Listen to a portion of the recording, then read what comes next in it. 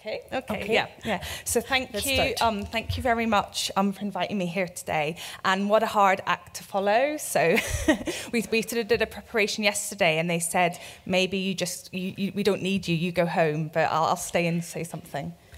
Ähm, ja, ich brauche meinen Stift, der liegt da vorne, sonst kann ich nicht übersetzen. Ein oranger, dicker Stift, danke. Äh, ja, also äh, Ruth Patrick äh, hat gesagt, ich freue mich sehr hier zu sein. Es ist äh, gar nicht leicht für mich, dem äh, allen zu folgen. Und, äh, ähm, aber jetzt dank der Übersetzung werden wir hoffentlich in eine gute Kommunikation kommen. Und einige von Ihnen, von euch, werden ja auch direkt dem englischen Vortrag folgen können. So all I wanted to try and do today with the sort of short time that I have is give an example of what's happening in Britain and really um, kind of talk through um, the welfare reform context and also some examples from my own research into experiences of welfare reform. Äh, Also was ich in der Kürze der Zeit heute hier machen möchte, ist, ich möchte ein Beispiel geben von den Entwicklungen in, äh, in Großbritannien, äh, davon eben, was diese sogenannte Welfare Reform eben dort, in welchem Kontext die auch zu sehen ist. Und ich werde berichten von meinen Forschungsarbeiten in diesem Zusammenhang. And what's very clear um, in the UK, and it's been like this for some time, is the ways in which welfare is conceptualised as a problem. So rather than being part of the solution, it's seen as kind of necessarily and inevitably negative, and then the lives of those who receive it are also then um, problematised. Was sich in, der, in Großbritannien schon seit einiger Zeit eben abzeichnet, ist, dass der Wohlfahrtsstaat, äh, Sozialpolitik zunehmend eben als Problem äh, gesehen wird und dass diese, diese Problemsicht äh, die ganze Debatte eigentlich äh, unterlegt. And within that, there are very clear and stark divisions drawn between hard-working families who the government wants to support and promote, and welfare dependents, and those who are kind of described as choosing a life on benefits. So these are divisions drawn between strivers and shirkers, and between the deserving and undeserving. Und äh, da wird eine große Spaltung aufgebaut. Äh, die Menschen werden unterteilt eben in die, in die Leistungsträger, würden wir hier sagen, also in die hart arbeitende Bevölkerung und in die abhängigen äh, Sozialleistungsbezieher, Bezieherinnen, in diejenigen und dann auch in diejenigen, die eben Sozialleistungen verdienen oder nicht verdienen, die deserving and undeserving poor. Wir sagen das auch äh, hier dann auch, äh, äh, haben wir auch diese englische Terminologie schon übernommen. And then within that, there becomes a space for a political consensus on the kind of supposed need to address what becomes seen as a problem of welfare. Und so entsteht dann auch ein politischer Konsens eben dazu, wie man äh, Wohlfahrtsstaatlichkeit, Wohlfahrtssysteme eben äh, als Problem präsentiert. Okay, so just to kind of really briefly introduce some key elements of the kind of policy approach in the UK, the first thing that we see very, very strongly is this focus on paid work as the best form of welfare. So all kind of welfare state activity is then orientated towards trying to move people from welfare that is problematised and into work, which is very heavily promoted and, and valorised. Und ich werde jetzt ein paar äh, der wichtigen Elemente dieses äh, politischen Zugangs skizzieren. Der erste ist eben der starke Fokus auf bezahlte Arbeit, auf den Arbeitsmarkt, auf die äh, Inklusion in den Arbeitsmarkt als beste Form der, der Sozialstaatlichkeit, der Wohlfahrtspolitik. Und alles wird damit verbunden dann. This kind of policy framing is underpinned by a very strong emphasis on welfare contractualism. So, the idea that the um, individual citizens are entering into a contract with the state, and that in return, we talked about responsibility, I think, in the questions, but in return for the right to welfare, individuals have a responsibility to seek and enter work wherever possible.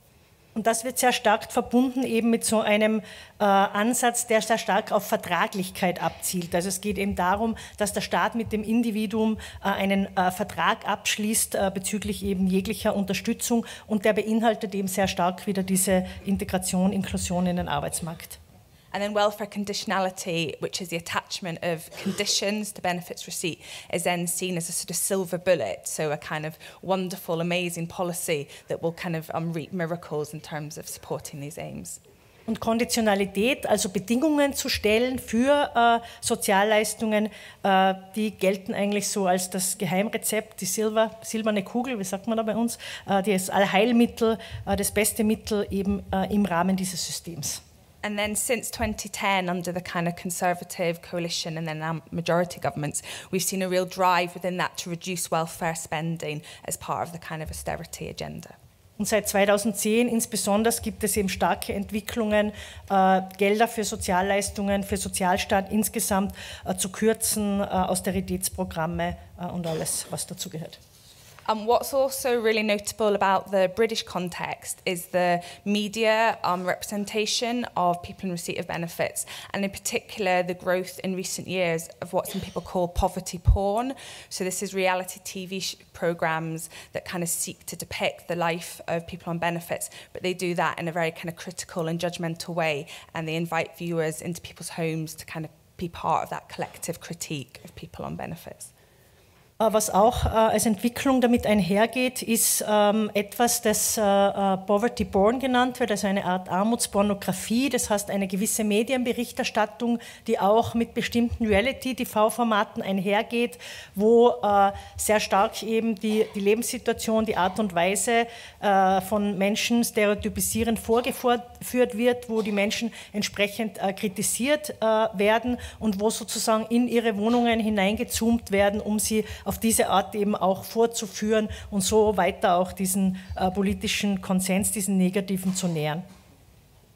Yeah, so taken together, when we look at the kind of political representation, the sound bites that politicians use, and then the dominant media framing, we have what um, Tracy Jensen describes as a machine of anti welfare common sense. And that machine, and I always in my head conceptualize it as a machine, as a truck, it really drives forward that dominant, very negative narrative and sometimes seems to crowd out the scope for alternative narratives to emerge. Und es hat sich so etwas äh, entwickelt, was von einigen eben eine Anti-Sozialstaats-, Anti-Wohlfahrtsmaschine genannt wird. Und äh, ich stelle mir das so vor, eben wie so einen äh, Panzer, der eigentlich alles niederwälzt. Also der dieses negative Narrativ, diese negative Erzählung äh, ganz stark eben äh, äh, vor sich herschiebt und äh, eigentlich kaum einen Platz lässt für, für konkurrierende Bilder oder Erzählungen. So then, against that context, it becomes possible for an incredible um, wave of welfare reforms to hit in the UK and then to hit with seeming relatively little opposition and certainly quite a lot of strong support from members of the public. Uh, und so gelingt es dann eben, eine Reihe von uh, negativen Entwicklungen, von Kürzungen uh, durchzusetzen, mit ganz wenig Widerstand und auch eigentlich mit großer Zustimmung, mit breiter Zustimmung aus der Bevölkerung. And I'm going to just like introduce a list of those now, but I think we're going to have time this evening if people want to hear more about some of the reforms and the impact they're having. Ja, ich werde jetzt hier eine, eine Liste äh, von einiger dieser äh, Reformen äh, präsentieren. Es wird äh, heute Abend dann noch, weil hier im Plenum ist nicht so viel Zeit, das ist ein kurzer Einschub von mir als Moderatorin, wird es heute Abend noch einmal äh, eine zusätzliche Session mit Ruth Patrick gehen, um für all diejenigen, die sich noch näher für das äh, britische Entwicklungen interessieren. Einschub wieder beendet und uh, wir kommen hier zur Liste dieser negativen Entwicklungen. Thank you. So yes, so what we've seen, and it's important to recognise that I'm talking, and my research talks particularly post 2010, but these reforms have been coming for a long time, and we saw them under the kind of Tony Blair um, government as well. But these include a very significant increase and extension of welfare conditionality. Ähm, also diese Entwicklungen, auf die ich mich in meiner Forschung konzentriere, die fokussieren vor allem auf die Zeit nach und seit 2010, aber natürlich wurden sie schon viel länger vorbereitet und sie stammen auch aus der Zeit äh, von Tony Blair. Äh, ein erster Punkt ist eben die Zunahme und die Ausweitung äh, dieser Konditionalität, dieser Bedingungen, unter die eben Sozialleistungen gestellt werden. Um, also, we've seen reduction in the levels of benefits, a very problematic and challenging introduction of a new benefit that's called universal credit, that's designed to roll all the benefits into one. Um, es, uh, es, wurden eine Reihe und werden eine Reihe eben von verschiedenen uh, Sozialleistungen gekürzt oder gestrichen, aber gleichzeitig werden problematische neue uh, Sozialleistungen wie eben dieser Universal Credit eingeführt. The introduction of a benefits cap, so a cap on the total amount of benefits any household can receive, and a two child limit, which limits um, the number of children for which a family can claim support to the first two children in the household. We've also seen the localisation of areas of welfare policy and changes to programmes of employment and back towards work, work support. Ähm, es, äh, es, wurde auch und wird auch zunehmend werden Obergrenzen eingeführt. Also es wird ein, ein, ein obere, eine obere Grenze gezogen äh, bei Sozialleistungen. Äh, zum Beispiel eben kürzlich auch so ein Zwei-Kinder-Limit. Also es werden Sozialleistungen nur mehr für Familien bis zu zwei Kinder und jedes zweite Kind äh, wird nicht mehr gerechnet. Da gibt es eben diese äh, Obergrenze dann. Gleich dann zusätzlich gibt es auch noch sowas wie, dass, ähm, dass es äh, stärker alles lokalisiert und, und separiert, weil so, also die verschiedenen ähm, äh, Formen auch und, und äh, äh Zugänge und äh, Möglichkeiten, Systeme der Sozialpolitik äh, werden disparater und nicht mehr so zusammengedacht. Thank you. So just to very briefly to say about the, the impact welfare reform is having, and I suppose part of the reason I was invited here was kind of as a warning of what, what can happen when um, welfare reform is taken quite far and in quite punitive and negative ways. And there is a great deal of evidence emerging from the UK of the very negative and the punitive impact that welfare reform is having. And particularly, we have seen an enormous, enormous growth in food banks in the in the UK, and also um, discussion about forms of poverty that we didn't we didn't talk about previously previously. So period poverty, the idea that women can't afford um, to pay buy um, sanitary towels and tampons. Also ähm, es gibt sehr viel Evidenz, es gibt Beweise, Fakten, die zeigen, was für eine negative Wirkung, was für negative Auswirkungen diese Art von Politik hat. Und ich schätze, ich bin hier auch eingeladen worden als eine Art Warnerin, äh, eben um aufzuzeigen, diese britischen Entwicklungen und was sich daraus ergibt. Äh, ein, äh, ein Zeichen dafür, eines dieser, dieser, dieser Beweise ist eben die Zunahme von Menschen, die zu Foodbanks, zu Tafeln äh, äh, gehen müssen, um sich dort äh, zu versorgen, aber auch neue Formen äh, von Armut, die bekannt werden, zum Beispiel eben ähm, Menstruationsarmut, womit dem gemeint ist, dass sich äh, Mädchen, Frauen eben nicht leisten können, Binden, Tampons und so weiter äh, zu kaufen ja, das ist auch ein Thema, das in letzter Zeit stärker aufgekommen ist und eben zeigt, äh, wie sich eben äh, Armut stärker verbreitet und welche negativen Auswirkungen diese äh, Politik hat. Similarly, we've seen a very big and significant rise in actual destitution. So, as well as rises in child poverty, we're seeing rises in destitution where people simply don't have enough to kind of food and clothe and heat their homes. And I think it's something like over a million households experiencing destitution in the UK at the moment. Also es gibt wirklich äh, Entbehrungen äh, im Zusammenhang mit Grundbedürfnissen, mit Essen, mit Kleidung, mit äh, Wohnen, Heizung, Energieversorgung. Ähm, Äh, das hat zugenommen und auch äh, Kinderarmut hat sehr deutlich zugenommen in Großbritannien. Okay, so just to introduce um, the research that I've been conducting into welfare reform, and then we'll come and look at some findings for that. So, what I've been trying to do is to um, undertake qualitative longitudinal research with a very small group of people directly affected by some of these benefit changes. And what qualitative longitudinal research means is that I'm able to walk alongside people over time through repeat interviews to get a really dynamic picture of how lives are changing over time as these welfare reforms take effect. Äh, meine Art der Forschung, äh, die ich hier äh, angewandt habe und anwende, ist eben eine qualitative Langzeitforschung. Das heißt, in meiner Forschung ist es mir möglich, eben Menschen, die von diesen Kürzungen auch betroffen sind, über eine längere Zeit zu begleiten, sie immer wieder zu interviewen und dadurch auch ein dynamisches Bild von der Situation zu bekommen. So within that, time becomes conceptualized as both kind of a vehicle and object of study. So time gives us a lot in terms of looking at people over time, and I'm still following people going forward. So I have kind of further interviews to conduct, but also that I'm interested in how time intersects with experiences of welfare reform. So the ways in which, say, very punitive welfare reforms make it harder for people to look to the future, to imagine the future in positive ways. Also, the research has included a very strong unparticipatory dimension, and I'll talk about about that a little bit more, but it included an animated film project called the Dole Animators Project, which I think we can also watch tonight if we want. Ähm, also Zeit, der Zeitfaktor ist im Rahmen dieser Forschung eben einerseits äh, eine Methode, äh, aber gleichzeitig auch ein Objekt der Untersuchung. Also dieser Zeitfaktor erlaubt es eben, äh, über eine längere Zeit Menschen zu begleiten und zu beforschen, mit ihnen zu forschen auch. Aber gleichzeitig ist auch richtet sich auch der Forschungsfokus eben auch darauf, was die Zeit eben macht, also was über diese Zeit äh, passiert. Das ist wichtig. Und äh, zugleich gibt es in der Forschung eben auch partizipative äh, Aspekte und Zusammenarbeit mit einer Gruppe von äh, Userinnen, von Armutsbetroffenen, äh, die unter anderem, die nennen sich die Doll Animators, diese Gruppe, die unter anderem auch zu einem Filmprojekt äh, geführt hat. Dazu werde ich später dann noch mehr sagen und auch heute Abend in dieser zusätzlichen Session wird es dann noch Gelegenheit geben, auch äh, diesen äh, kurzen Film äh, dieser Gruppe zu sehen. Okay, so what I wanted, given the conference's theme, I really wanted to focus in, in on my findings as they relate to kind of misrecognition and the stigma that um, the people I spoke to were often um, experiencing of benefits.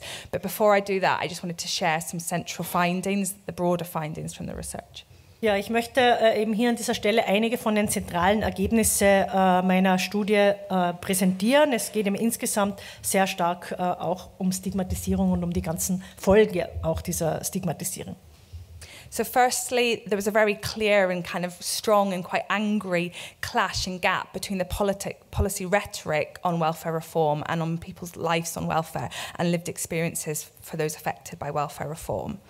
Also es gibt eine, eine, eine äh, großen, große Kluft, es gibt einen Clash äh, zwischen der politischen Rhetorik und zwischen den äh, ganz realen Erfahrungen äh, derjenigen, die eben von diesen äh, äh, wohlfahrtsstaatlichen Reformen auch betroffen sind. So in Britain, we have politicians, they talk about benefits as a lifestyle choice. They talk about people literally sitting on their sofas waiting for their benefits checks to arrive. There's a notion of real inactivity associated with benefit claiming. What my research um, kind of found to counter that was a very hard work that getting by in poverty demands. So the actual work that is involved in surviving and trying to cope as, a, as an individual or as a family during times of poverty. And also, and this links into what I think Romy was saying, the very many forms of other contribution and work and labour in which um, the people I was speaking to were engaged. So care work, volunteering, informal support within the community. Und äh, da ist eben diese Kluft zwischen äh, Politiker, Politikerinnen, die darüber äh, reden und auch dieses Bild eben zeichnen von den äh, Sozialhilfeempfängerinnen, die faul zu Hause auf der Couch sitzen und nichts tun und nur warten eben, bis äh, sie ihre Beiträge äh, bekommen und den ganz klaren Ergebnissen aus der Studie, dass eigentlich von Sozialhilfeleistungen zu leben harte Arbeit ist. Also dass die harte Arbeit ist hier überhaupt zu überleben, aber auch eben, und da äh, gibt es auch äh, gute Anschlussmöglichkeit an den ersten Vortrag von Romy Reimer, dass eben äh, die Menschen auch in andere Aktivitäten äh, jenseits des Arbeitsmarktes engagiert sind äh, äh, und eben aktiv und tätig sind. Um, I also found very sort of complex relationships with paid employment. So the kind of policy framing is this idea that people need the push, the um, the kind of kick, I suppose, of the threat of sanctions and conditionality to encourage and support moves from welfare to work.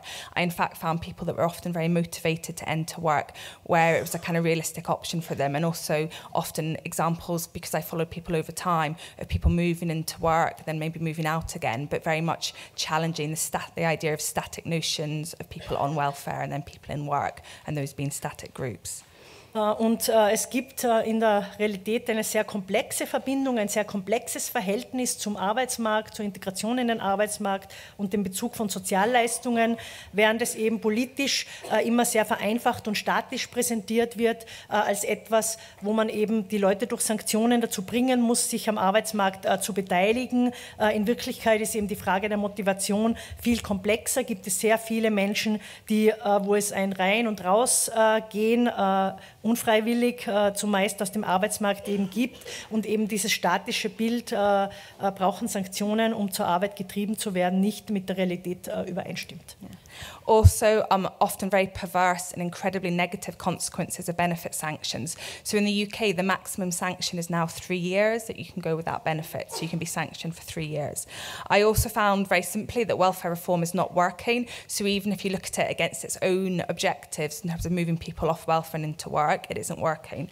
And then finally, this idea that rather than social insecurity, we're moving to a new state in the UK of social insecurity, where the lives of people in receipt of benefits are very much characterized by insecurity and worry, and then that having very negative impacts on mental health. Sorry. Also äh, in Wirklichkeit äh, kann man sagen, dass diese Sanktionen nicht funktionieren und dass sie auch ein perverses Ausmaß annehmen. Es ist in äh, Großbritannien jetzt möglich, jemanden bis zu drei Jahre zu sperren. Also die Sanktion kann so weit gehen, dass man sagt, die nächsten drei Jahre bekommst du keine Sozialleistung mehr. Man sieht auch eben aus der Forschung, dass sie ähm, auch abgesehen davon diese Sanktionen nicht wirken. Also es gelingt nicht, durch diese harten Sanktionen eben äh, mehr Menschen in den Arbeitsmarkt zu inkludieren. Und drittens entsteht dadurch eben äh, statt einer Politik der sozialen Sicherheit eine Politik der sozialen Unsicherheit. Okay, so now I want to share some findings of you know what people said to me when I, when I interviewed them. And the best way to do this is that if you read them on the screen and then Michaela can translate them. So the first one is about the very personal stigma that people in receipt of benefits um, experience, and also in some cases how they um, self-describe in very negative ways. So I had one participant who was self-describing as scrounging. Äh, ich habe äh, jetzt eben aus den Ergebnissen meiner Forschung auch ein paar Originaltöne, Zitate ausgesucht, um eben auch aufzuzeigen, wie äh, Betroffene diese Situation erfahren, das Stigma erfahren. Und wir werden das jetzt organisatorisch so machen, dass ich diese schon im Vorfeld übersetzten Passagen auf Deutsch vorlesen werde und Sie können jetzt natürlich auch auf Englisch selbst lesen. I read both of them? Yeah, okay. okay. Ich fühle mich wie ein Arsch. Wenn du auf der Straße herumgehst und alle wissen, dass du nicht arbeitest, weil du dich den ganzen Tag herumtreibst, da fühlst du dich wertlos. Du hast das Gefühl, dass dich die Leute anschauen, als würden sie sagen wollen, er scheißt drauf. Das ist auch so einer, der nur herumsitzt und nichts tut. Und wenn du dann einkaufen gehst und das ganze billige Zeug nehmen musst, da fühlst du dich, weißt du, da schämst du dich. So ist es. Du siehst, wie die Leute feine Dinge in ihre Einkaufswegen legen und du kannst das nicht. Du kannst nur das Minimum nehmen und das ist hart, weil ob es dir passt oder nicht, mehr kannst du dir nicht leisten. James ist das. Ich brauche einen Job, weil mich das Schmarotzen krank macht. So denke ich darüber. Ich habe genug von dieser Schmarotzerei, sagt Sam. Okay, and then the other um, element of stigma that came through very strongly was the institutional one. So the idea that the institutions of the welfare state are actually embedding and pushing forward an, a stigma. Maybe just read one as well then. Yeah. Um, uh, eine andere Form der Stigmatisierung ist eben auch sehr stark diese institutionelle Stigmatisierung, die eben über den Kontakt uh, mit uh, Institutionen geht. Die Jobcenter, hier würde man sagen AMS-Mitarbeiter, Mitarbeiterinnen schauen auf dich runter. Letzte Woche, als ich dort war, sagte sie, haben Sie sich für Stellen beworben? Und ich so, ja, für 23. Und sie hat mich angeschaut, als wollte sie sagen, ja, okay, was soll's.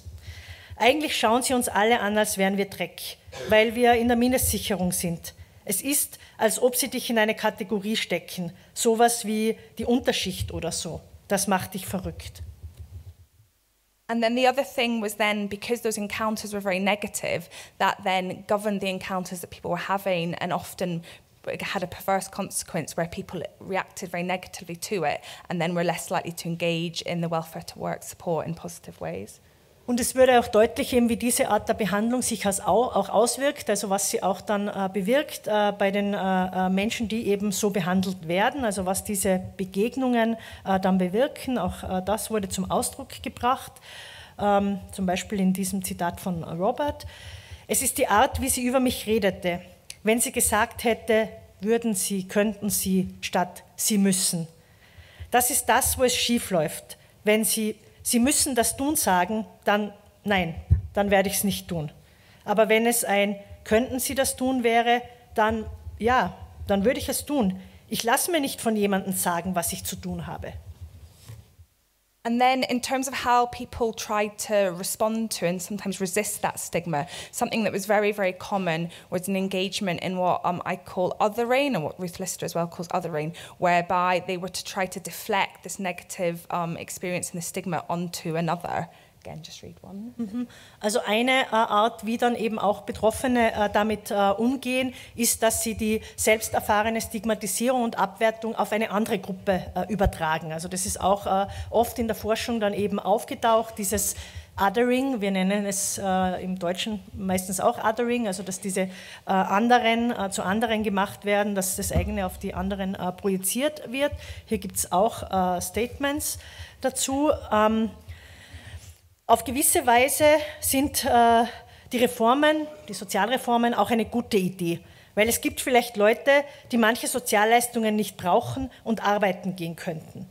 Also nicht ich, aber Leute, die ein falsches Spiel spielen oder einfach nur Geld rausholen wollen. Es gibt schon recht viele Leute, die zum Beispiel einen schlechten Rücken oder so faken.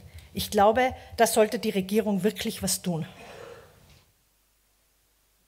And what was notable, because I was able to follow people over time, is that I saw how that othering increased and actually often got more angrier as people kind of experienced wave after wave of welfare reform. Ähm, ja, das geht hin bis, das geht weiter noch, dieses äh, Othering. Ich habe jetzt die Folien vertauscht, aber es geht in die gleiche Richtung, weiter, noch stärker. Äh, ich bin keine Rassistin, wirklich nicht. Aber ich bin überhaupt nicht einverstanden damit, wie wir in unserem Land leben, im Vergleich zu anderen, die hierher gekommen sind aus anderen Ländern. Wirklich nicht. Und es ärgert mich sehr.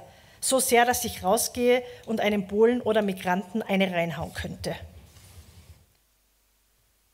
So what happened because of the othering is that often we would find people with direct experience of the benefit system who are themselves being very adversely affected by it, actually being in support of the kind of broader policy context because they felt there was some other for whom it was required. It was just not for them.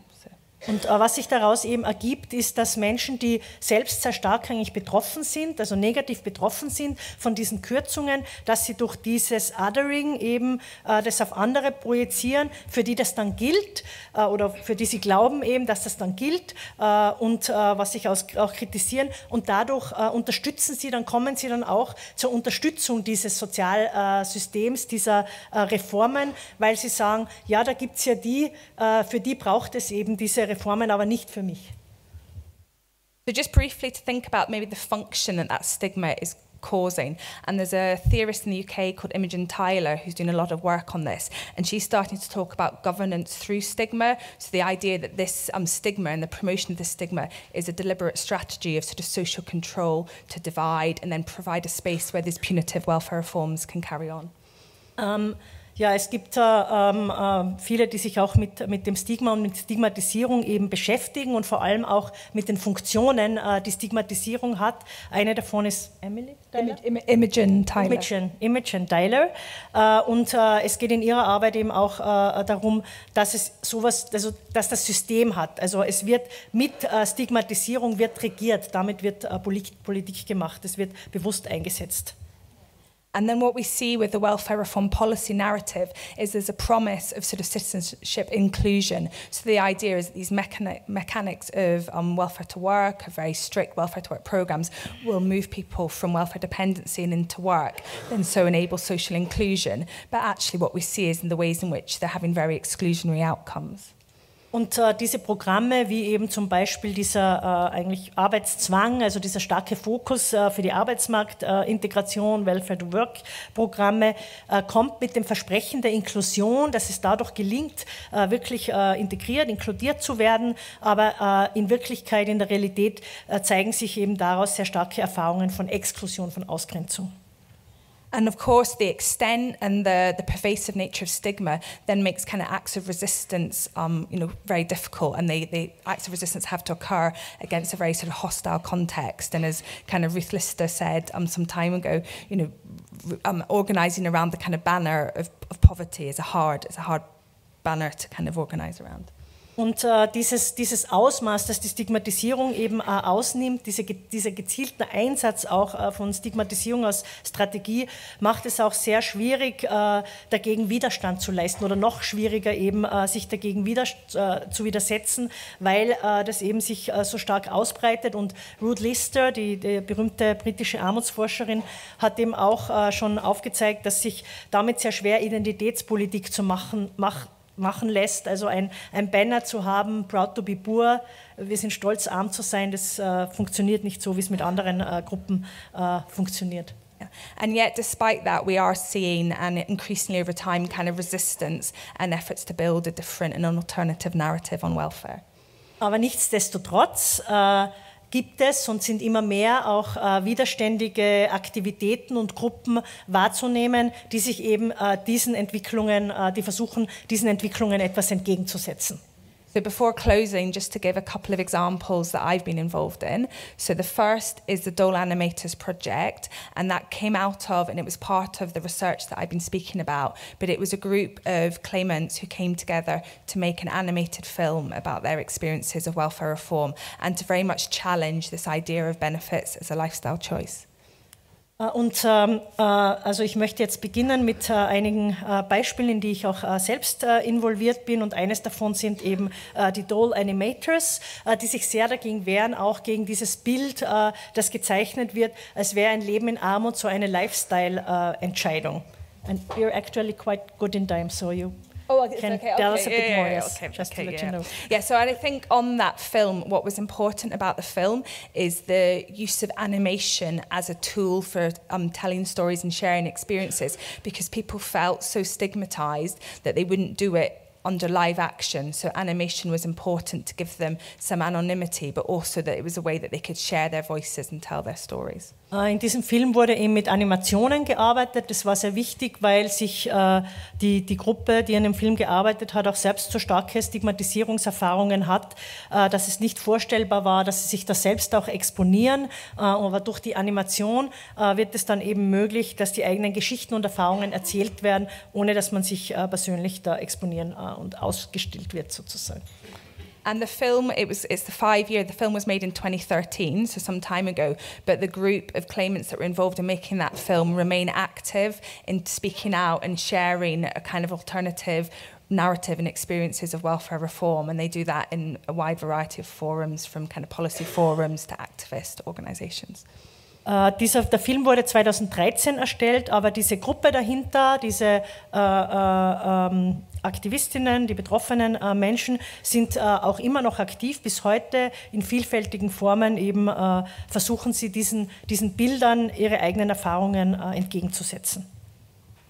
And then um, more recently, um, I've been working with three groups to look at um, ideas for solutions to poverty. Und äh, in, in, in, letzter Zeit habe ich äh, mit drei äh, verschiedenen Gruppen gearbeitet, äh, wo es auch darum geht, gemeinsam eben nach äh, Lösungen im Kampf gegen Armut zu suchen. And I think this again, um, it relates to what Romy was saying earlier, that it's not enough maybe to um, look at the problem, but also to start to look at what the solutions might look like. Und äh, das, da kann ich mich wieder beziehen auf den Vortrag von äh, Romy Reimer vorhin, dass es eben nicht genügt, äh, auf die Probleme nur hinzuschauen, sondern eben, dass es auch darum geht, neue Lösungen, neue Formen zu entwickeln. And when we do that work, when we start to look for solutions, it's absolutely vital that we include the expertise that comes from experience. And there's a kind of slogan um, around the Poverty Truth Commissions that we have in the UK, and that's um, nothing about us without us is for us.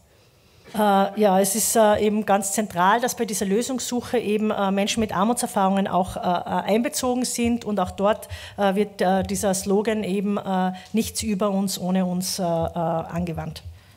And so this project and these um, flyers that you see, these are kind of um, graphic illustrations that were co-produced. So they were worked on together by um, myself as a facilitator, a graphic designer, and then three groups with direct experiences of poverty. So it wasn't that we spoke to them, said what are the solutions, and then went away and designed something. It was that they chose the design, they, they worked on the design. It, it was their, it was their, their thing.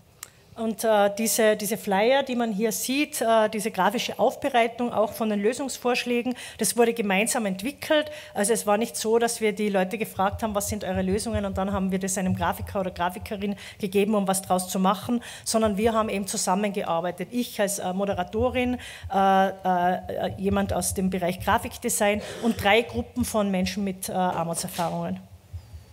And this work um, very much continues. And what we're trying to do at the moment um, in England is to find opportunities um, to bring together groups with direct experiences of the benefit system to share ideas and work through how we can kind of network from that. And that's one of the many reasons why I'm really excited to be here today, because I think obviously you're doing that in Austria and there's things we can learn and take back to the UK. Und äh, was im Moment eben, was wir im Moment sehr stark versuchen, ist eben diese verschiedenen Gruppen äh, von Menschen mit Armutserfahrung, die sich hier organisieren und aktiv werden, auch stärker äh, miteinander zu vernetzen, zusammenzubringen, dass sie auch ihre Erfahrungen austauschen können, gemeinsam handeln können. Und äh, deshalb äh, freut es mich auch sehr, hier zu sein, weil ich äh, mitbekommen habe, dass das auch hier passiert und wir können da sicher viel voneinander lernen. Okay, so just um, to conclude and to finish off, just a few reflections from my research and my work with people with direct experience on what might make a difference. So if we were to try and imagine a pro-welfare um, kind of world and imaginary, what would it look like? Ja, und jetzt so als Schlussfolgerung eben auch äh, einige meiner Schlussfolgerungen aus, der, aus, aus meiner Forschung und aus dieser äh, Arbeit, äh, was es eigentlich braucht, damit eben der Wohlfahrtsstaat im Sinne eben der Betroffenen auch funktioniert.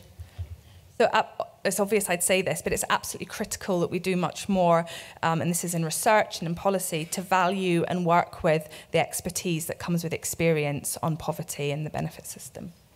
Was ganz zentral dabei ist, dass wir eben äh, viel mehr investieren, viel mehr tun, und zwar sowohl in der Forschung als auch in der Politik, dass wir viel mehr äh, gemeinsam mit den Betroffenen arbeiten und dass wir die Expertise, die aus der Betroffenheit, aus den Erfahrungen eben kommt, hier stärker in Forschung und Politik einbeziehen. It's also important that when we look at poverty and the impact it has, we don't just think about it in terms of the um, redistributional um, injustices, but also around the relational harm that it causes and how we can seek to address that. Es ist auch wichtig, dass äh, wenn wir uns äh, diese ganzen äh, Fragen und Probleme anschauen, dass wir nicht nur auf die Fragen der Verteilung und auf der Ungerechtigkeit fokussieren, sondern auch schauen, was es auf der Beziehungsebene bedeutet, was es macht eben mit den, mit den Beziehungen, die die Menschen haben und, und pflegen können. Um, and also, we need to really challenge. So, in the UK, and I expect also here, we have these static divisions between those on welfare, those in work, and very kind of simplistic ideas of dependency and independence. And we really need to try and collapse those, kind of drawing on work of people like Nancy Fraser, Richard Titmus in the UK, to kind of better recognise the interdependency of us all and actually celebrate um, rather than critiquing dependency. Was auch wichtig ist, ist eben, dass wir diese statische Teilung, diese Spaltung eben zwischen einerseits den, äh, denjenigen, die, die arbeiten, die für ihren Lebensunterhalt arbeiten und äh, denjenigen, die äh, scheinbar nichts tun und eben als äh, äh ähm, nur als Empfängerinnen gesehen werden, dass wir das durchbrechen, äh, dass wir auch sehen, dass nicht nur Menschen, die Sozialleistungen äh, empfangen, eben Abhängige sind und dass wir stärker diese Interdependenz, also die wechselseitigen Abhängigkeiten in den Fokus äh, stellen und eben mehr miteinander machen, als uns auseinandertreiben und spalten zu lassen. I think there's also very clear and strong possibilities in trying to look at how we might develop a shame-proofed social security system and actually making that case um, in terms that might suit the kind of um, political narrative that actually if you want to help and support people from welfare and into work where that's realistic, if you do it in a kind of, if you just embed stigma, that's really not, not going to achieve your goals. Äh, was wir auch äh, brauchen, ist, dass wir äh, uns anschauen müssen, welche Möglichkeiten gibt es denn, eine, ein Sozialsystem zu entwickeln, das shame-proofed, also das sicher vor Beschämungen ist, wo es zu keinen Beschämungen kommt und dass wir eben auch eine, eine andere Art und Weise entwickeln, um Menschen zu unterstützen, zum Beispiel eben auch, äh, wenn es um die Inklusion in den Arbeitsmarkt geht, dass es eben nicht über Beschämung und über, über Kontrolle geht, sondern dass wir hier äh, andere äh, Wege finden. Um, also, um, like social citizenship, currently it's used um, in the UK as a tool of kind of social control. So the idea that to be an included citizen, you have to be in paid employment, but there's still possibilities to try and reclaim and rework social citizenship so it does become a force of meaningful inclusion and empowerment. Es geht auch um äh, Bürgerinnenrechte, um ein Verständnis eben äh, von äh, Bürger, Bürgerinnen sein, äh, soziale Bürgerinnenrechte und das wird im Moment sehr stark eben äh, genutzt äh, als, als Verpflichtung mit diesem Pflicht- Kontrollcharakter, aber es geht darum eigentlich, sich das anzueignen und eben über dieses Instrument auch von Bürger, Bürgerinnenrechten, sozialen Rechten für Inklusion zu kämpfen. And so within that, there's a desperate need to really rethink the pace, place of paid employment within ideas of citizenship responsibility and recognise other forms of contribution, and also to move from an analysis of the problem of welfare to a rights-based engagement with social security and the ways that can benefit us all. Und äh, wir müssen äh, äh, auch wirklich überdenken, diese zentrale Rolle, die die Arbeitsmarktpolitik äh, spielt äh, im Zusammenhang mit diesen ganzen äh, Konzepten. da müssen wir neu darüber nachdenken und wir müssen auch uns entfernen von einer Analyse, die eben Wohlfahrt, Staatlichkeit, Sozialstaat, Sozialleistungen als Problem sieht. Und wir müssen hinkommen zu einem Verständnis von sozialer Sicherheit, das auf Rechten basiert. So yeah, so just in concluding, it does feel quite sad to think that I'm here representing all that is wrong with the UK, but also hopefully I'm here to represent some of the forms of resistance that are taking place and hopefully there's possibilities there to work together to challenge and build these alternative narratives of welfare. So thank you. Yeah.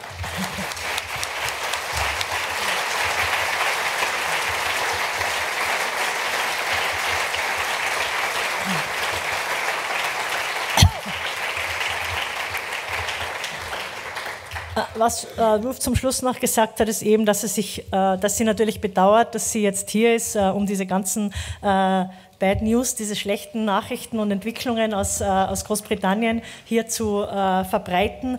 Aber sie hofft eben, oder es äh, ist ihre Intention, eben nicht nur diese negativen Entwicklungen äh, bekannt zu machen, sondern eben auch äh, den Widerstand, äh, den es dagegen gibt, die, die Lösungssuche, die gemeinsame. Und sie hofft, dass wir da auch gemeinsam dann dran weiterarbeiten können. Und in diesem Sinne, wir haben jetzt auch noch eine Viertelstunde Zeit für erste Beiträge, Kommentare. Wie gesagt, äh, es wird am Abend um 19.30 Uhr äh, gibt es im, ich glaube, Seminar um 8 dann auch nochmal eine Möglichkeit, da noch tiefer ins Gespräch zu gehen mit Ruth Patrick. Wir werden auch weiter Übersetzung improvisieren, dort auch den Dole Animators Film sich anzuschauen. Aber es sind auch jetzt in der nächsten Viertelstunde schon sehr herzlich Reaktionen, Beiträge, Fragen willkommen. Ich bitte nur um ein deutliches Handzeichen, äh, damit die äh, Kolleginnen äh, und Kollegen mit dem Mikro wieder hingehen können. Ich habe hier schon zwei Meldungen, hier eine und dann hier noch zwei. Okay, beginnen wir mal auf dieser Seite. Äh, soll ich auf Deutsch oder auf uh, Englisch and, uh, uh, if, if it's possible to do it in English already, that's fine. Otherwise, I will try to help out. Okay, I can do both. Yeah, yeah whatever. helps. Uh, thank you very much. I think it was a very comprehensive and interesting intervention. My name is Ana Maria Suarez Franco from FIAN International, and I work in Geneva with the human rights uh, system. Um, I think you, you put very clear that what is happening here is that all these rights that people were fighting for along many years are getting lost now. And we are coming again to a charity system that is reducing and of course, that means that private people are depending more on private people, which really damages the relationships in the society. And um, we also see that, therefore, the state is shrinking, and we are again letting uh, all these solutions in the hands of, of charities uh, or privates, uh, uh which is similar to the fe feudalism. And uh, I think you presented very uh, well the, the case of the food banks. I know that in Germany, maybe here, I don't know here, people are very proud to work on food banks. And they think they are doing well. And I am sure that the people working with the food banks are convinced that this is good. But I would like to hear from you which is the bad part of it, uh, which is the denigrating part for the recipients uh, and why we need to recover the state's social security instead of um, replacing the, the state. Um, um das ein bisschen schnell zu übersetzen, meine, mein Name ist Anna Maria Suarez Franco. Ich arbeite. Das, ich würde vorschlagen, Entschuldigung, dass ich Sie kurz unterbreche, dass wir es jetzt gar nicht übersetzen, sondern ich nach der Antwort ah, okay. äh, das okay. äh, gemeinsam zusammenfasse. Super. Damit Danke. wir ein bisschen äh, die Zeit gut nutzen. Danke.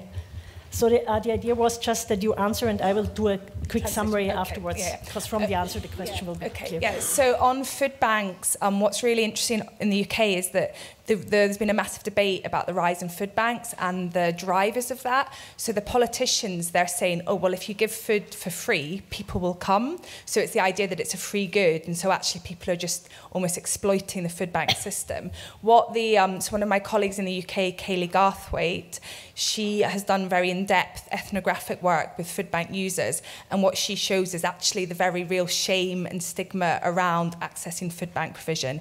And one of the people that I spoke to in my research, they were living in in-work poverty and they were trying to think through accessing a food bank, but they, they didn't want to because for them they felt it would even just further embed this idea of themselves in very negative ways.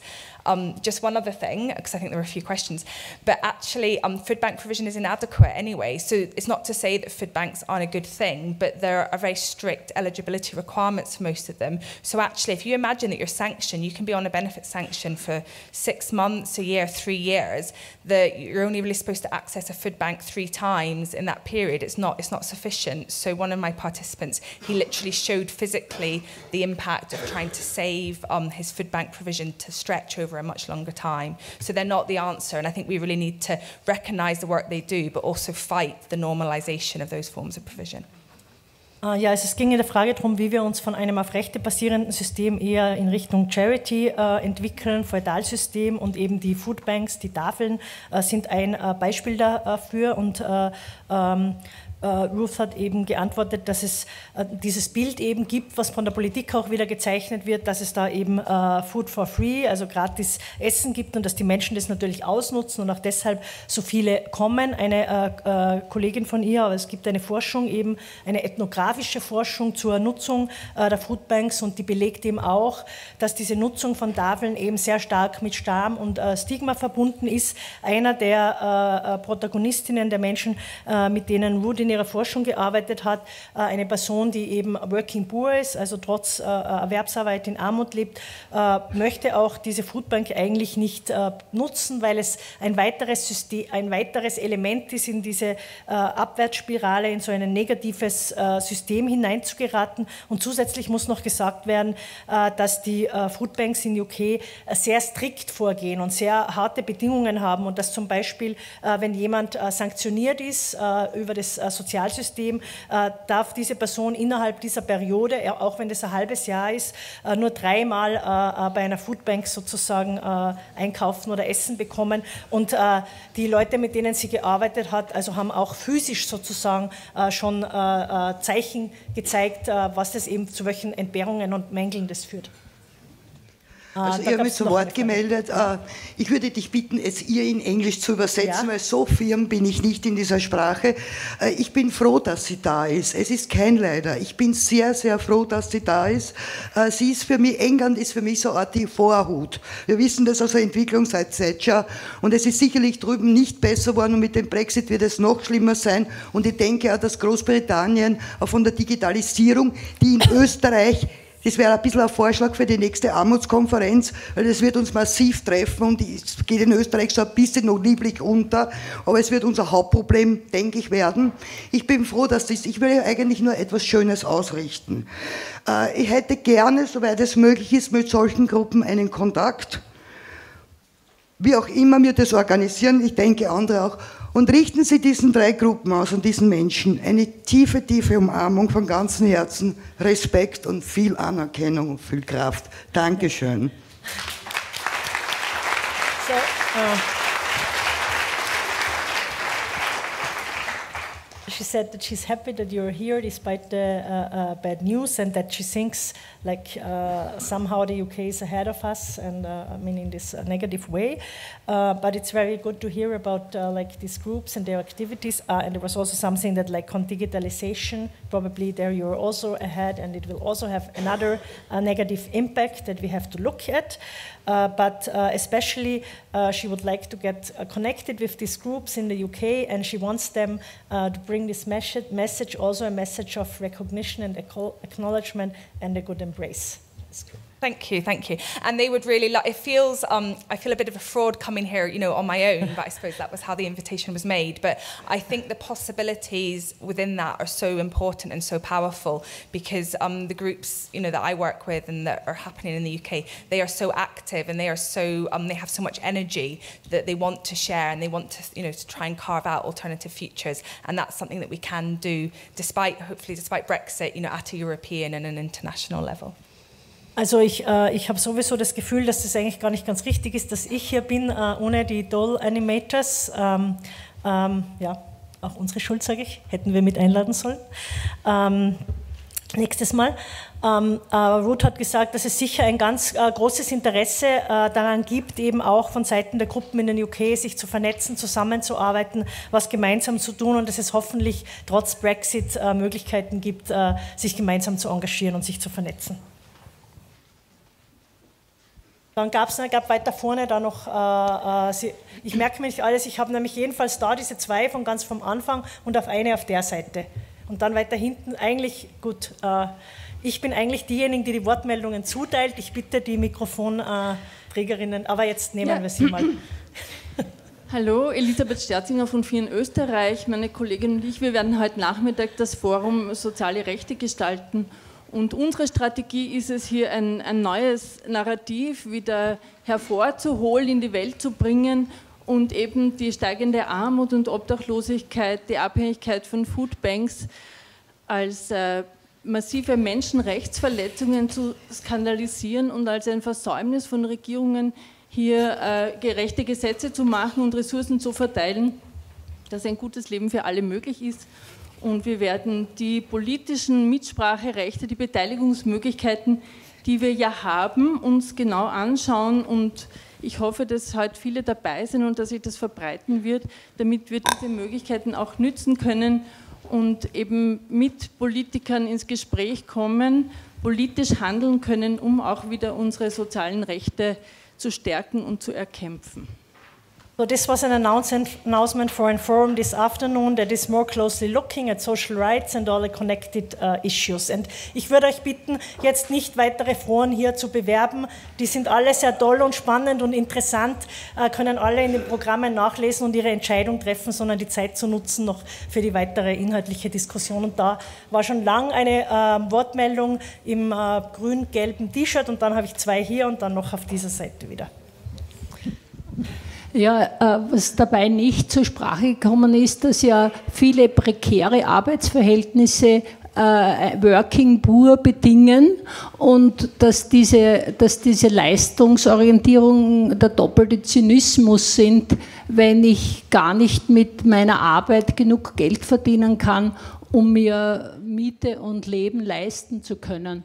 Und äh, wie weit äh, spielt diese, zum Beispiel diese Arbeiten, wo ich auf Abruf bezahlt werde und nicht äh, kein Recht mehr darauf habe, ein Grundeinkommen, zu, ein Grundgehalt zu bekommen, äh, kann ja nur eine Abwärtsspirale in die Armut bringen. Und wie, inwieweit spielen diese äh, Veränderung der Arbeitsgesetze eine Rolle für die Vermehrung der Armut? Um, this is a question about how uh, changes in the labor market system and in the, also the rights uh, uh um, uh, are um, also uh, contributing to an increase of poverty, like uh, people that have this work on demand, and maybe you could say a bit on this kind of developments. Okay, so what we've seen um, in the UK is this kind of irony that we have this narrative about work as the best form of welfare, but also what we have is very high levels of in work poverty. So that's like one, a key thing that's kind of a, a contextual. The other thing, which I didn't have time to talk about, is that we're now seeing the rollout of in work you want me to pause? In work conditionality. So I explain. So in work conditionality is the idea that if you are um, in work but not working enough, you can be mandated to try and find more work. And if you don't do that, you risk benefit sanctions. So it's a massive kind of new frontier in welfare conditionality that has been rolled out in the UK. And what it means effectively is that you can be required, say you're working, I don't know, 15 hours um, in a low paid job, you can then, and then you're getting some top up support from the state, you can be mandated to engage with forms of welfare to work support. And if you fail to do that, you can have a sanction that's applied to your um, top up benefits. Also die Ironie ist, dass eben einerseits äh, der Zugang zum Arbeitsmarkt als das Mittel der Armutsbekämpfung gilt, andererseits eben immer mehr Working Poor äh, äh, entstehen. Äh, und was eine der jüngeren Entwicklungen und Verschärfungen ist äh, äh, in Großbritannien, ist eben, dass diese Konditionalität, die Sanktionen auch ausgeweitet wird auf Menschen, die in Armut und also die in Armut, in Arbeit und arm sind, das, und aber zu wenig arbeiten. Das heißt Menschen, die zum Beispiel einen schlecht bezahlten 15-Stunden-Job haben, äh, und zusätzlich eine Sozialleistung beziehen, werden eben gezwungen, äh, in ein bestimmtes Programm, äh, sich einem bestimmten Programm mit Zwang zu mehr Arbeit zu unterwerfen und eben mehr Stunden zu arbeiten. Und wenn sie das nicht tun, werden sie auch wiederum mit Sanktionen belegt. Also das System verschärft sich da immer weiter, auch auf Menschen, die mit ihrer Arbeit nicht genug verdienen.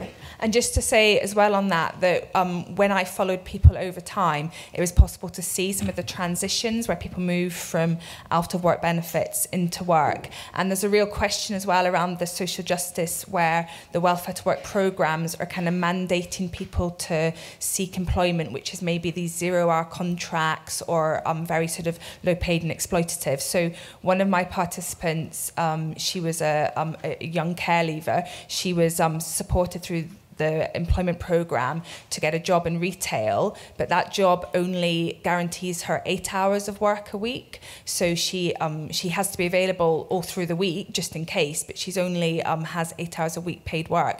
And she talks um, in her interviews about how she still prefers that. So she feels positive. You know, she feels okay. I'm no longer a scrounger, but really she's just moved from out of work poverty to in work poverty. Also äh, durch diese Langzeitforschung, äh, Studien ist es mir eben auch möglich, äh, Menschen über einen längeren Zeitraum zu begleiten und auch diese Veränderungsprozesse auch direkt in dem äh, individuellen Leben äh, nachzuvollziehen. Und eben eine der Personen, mit denen ich da gearbeitet habe, eine, eine Care-Lieferin, hat eben dann so einen Acht-Stunden-Job angeboten bekommen und äh, das wäre aber zu wenig äh, gewesen, äh, um sie, um sie aus der Armut zu heben natürlich. Aber sie würde eigentlich gern diese, diese also so, sie würde ganz gern acht Stunden irgendwie arbeiten.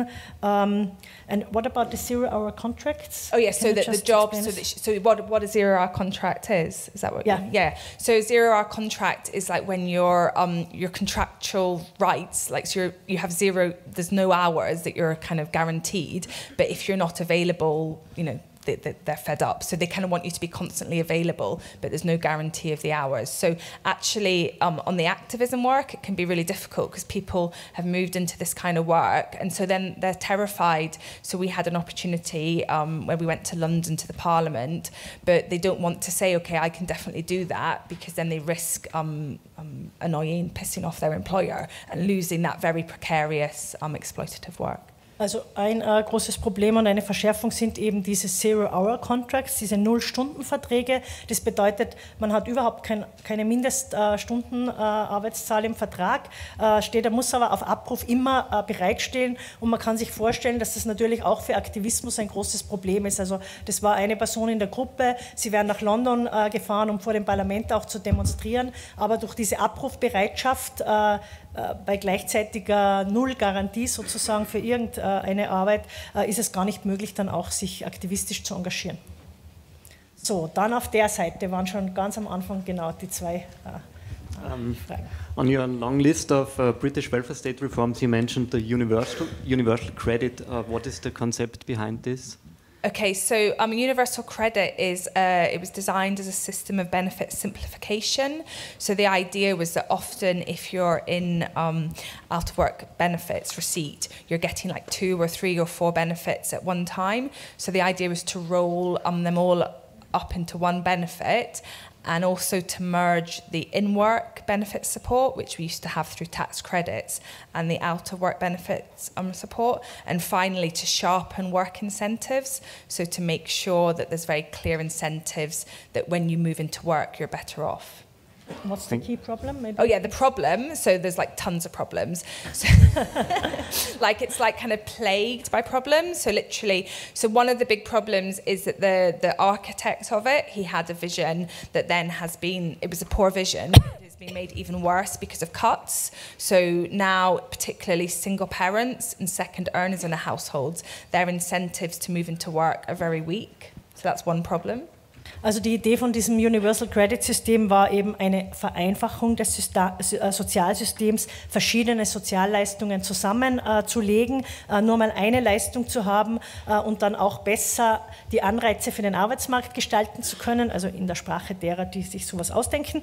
Ähm, und abgesehen davon, dass es sowieso eine schlechte Idee ist, wurde auch eine noch verschärftere, schlechtere Version davon umgesetzt mit sehr, sehr niedrigen Beträgen und es betrifft äh, vor allem eben Alleinerziehende, äh, die, die mit Kindern in einem Haushalt leben und äh, auch nur eingeschränkt arbeiten können. Yeah, so there's loads and loads of problems, but just like a couple of other things are that it kind of just takes no account of people's um, everyday experiences and what is important for them for a benefit system to function. So to give some examples, the benefit payment is paid monthly, so then that really lengthens the period of time that people have to try and budget on a very low income, and that's very problematic. And also it's paid to just one person within a household. So traditionally, with a benefit system, you can have, you know, particularly the tax credits. They would traditionally always be paid to the to the, the primary caregiver, so most often the mother. And there's real concerns within the women's rights movement that this payment to one person in the household can kind of you know, um, have challenges for women experiencing financial control and abuse. Also es gibt Tonnen von Problemen im Zusammenhang mit diesem System. Eines ist, das ist jetzt nur im britischen Kontext zu verstehen, dass es monatlich äh, ausbezahlt wird und es macht die Budgetierung äh, ähm, schwieriger. Kleiner Einschub, in Großbritannien ist es immer noch äh, äh ähm, üblich, einige Dinge wöchentlich zu bezahlen, zum Beispiel Miete. Äh, also es gibt, es ist ein anderes System und äh, äh dadurch eben auch äh, äh, wird das nachteilig gesehen. Ein besonders großer äh, Nachteil ist eben auch, dass es nur an eine Person im Haushalt, also diese Zusammenlegung bedeutet auch ein verstärktes Haushaltsprinzip. Es wird nur an eine Person im Haushalt ausgezahlt und es gibt vor allem auch von Seiten der feministischen Bewegung eben Bedenken, dass das dann sehr oft der Haushaltsvorstand, der männliche, äh, sein wird und dass die Frauen noch mehr Kontrolle über finanzielle äh, Mittel verlieren werden. Ah, die, dann, Dankeschön. Ja, Thank you. Dahinter gleich. I just wanted to know what do you expect which consequences will have the Brexit on the social system, the social welfare state in England? Will it still deteriorate the situation of uh, people or will there be any consequences? Um, so it's a good question. like um, we know so little. Like in the UK, the Brexit negotiations are such a mess. It's very hard to get any kind of clarity about where it will go or what will happen. I think one of the things, the only positive, not the only, but the way in which it could be positive is the way in which it's made politicians recognise how ignored so much of the British population feel, and a lot of the kind of um, analysis of why Brexit happened was that it was a response to that. And what we had from politicians on the left and on the right was a kind of narrative that just ignored people in poverty and explicitly even um, our, the previous Labour Party leader, um, Ed Miliband, his his um, party in the run up to the election, they would say, We are not the party of people on benefits. So there was a very explicit distancing and kind of um, ignoring and neglecting of those voices. And I think the only thing um, that you could see that could have positives for the social welfare system is the ways in which politicians are now maybe trying to kind of engage with and reach out and provide, um, promote opportunities for that. Ähm, also äh, was äh, Brexit aufgezeigt hat oder aufzeigt, ist eben, äh, wie stark eigentlich ganze Teile, große Teile der Bevölkerung sich eben von der Politik auch ignoriert fühlen und auch ganz tatsächlich ignoriert wurden. Also es in den bestehenden Narrativen, zum Beispiel eben der, der Chef der, der Labour-Partei, Ed Miliband, hat immer sehr stark äh, Augenmerk darauf gelegt, dass sie eben nicht die Partei der Sozialleistungsbezieherinnen äh, sind.